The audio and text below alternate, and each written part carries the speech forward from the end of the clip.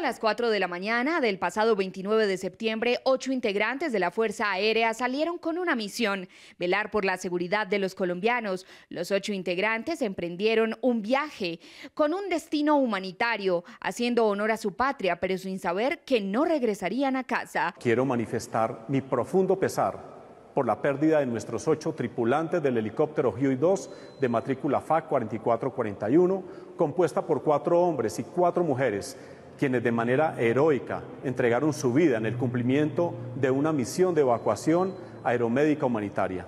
Los hechos sucedieron en la vereda Garabato, municipio de Cumaribo, en el departamento de Vichada, dejando un saldo trágico de ocho militares muertos. El departamento del Quindío también está de luto, pues uno de los integrantes del helicóptero, identificado como Luis Fernando Montoya Ospina, técnico cuarto de la Fuerza Aérea de Quimbaya Quindío, también fue víctima del fatal accidente. Lamentamos profundamente esta situación de una persona tan joven que apenas estaba empezando a vivir.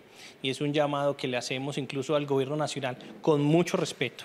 Y es que esas aeronaves tienen que tener un mantenimiento, eh, tienen que hacerle un seguimiento completo, los recursos para esto no deben recortarse. Este terrible evento ha dejado un luto en la región de Vichada y ha resaltado los riesgos que enfrentan los militares en misiones humanitarias.